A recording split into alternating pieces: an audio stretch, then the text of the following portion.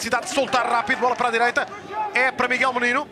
Pede de novo Matheus Fernandes. Miguel Menino vai no 1 um para 1. Um. Tira o cruzamento, grande área, cabeceamento e o golo! Empata o Sporting e o Cef Charmiti. Cruzamento à direita e o golo feito por Chermiti.